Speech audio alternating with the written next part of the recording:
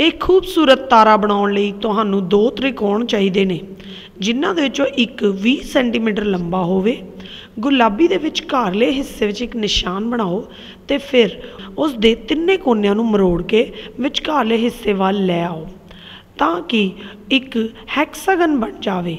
ਅਜਿਹੇ ਦੋ ਅੱਡ-ਅੱਡ ਰੰਗਾਂ ਵਿੱਚ ਬਣਾਓ। ਕਿਸੇ ਇੱਕ ਗੁਲਾਬੀ ਨੂੰ ਘੁਮਾ ਕੇ ਘੁਮਾਓ ਅਤੇ ਫਿਰ ਉਸ ਨੂੰ ਕਿਸੇ ਵੀ ਇੱਕ ਪਾਸੇ ਨੂੰ ਵਿਚਕਾਰ ਵੱਲ ਨੂੰ ਮੋੜੋ। ਅਜਿਹੇ ਅਨੁਸਾਰ ਹੀ ਕਿਨਾਰਿਆਂ ਨੂੰ ਵਿਚਕਾਰਲੇ ਹਿੱਸੇ ਵੱਲ ਮੋੜੋ ਅਤੇ ਇੱਕ ਤ੍ਰਿਕੋਣ ਬਣਾਓ।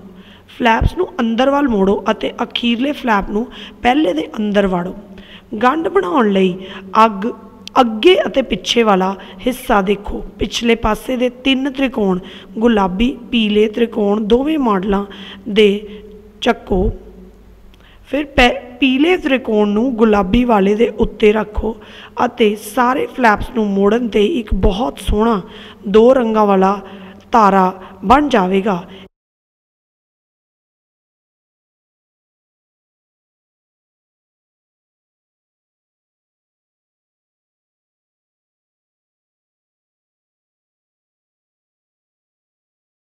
ਇਹ ਅੱਗੇ ਵੱਲ ਵਾਲੇ ਪਾਸੇ ਦਾ ਨਜ਼ਾਰਾ ਹੈ ਅਤੇ ਇਹ ਪਿੱਛੇ ਵਾਲੇ ਪਾਸੇ ਦਾ।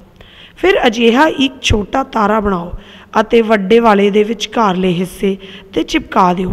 ਇਹ ਬਹੁਤ ਸੋਹਣਾ ਡ੍ਰੀਮ ਸਟਾਰ ਬਣ ਜਾਵੇਗਾ।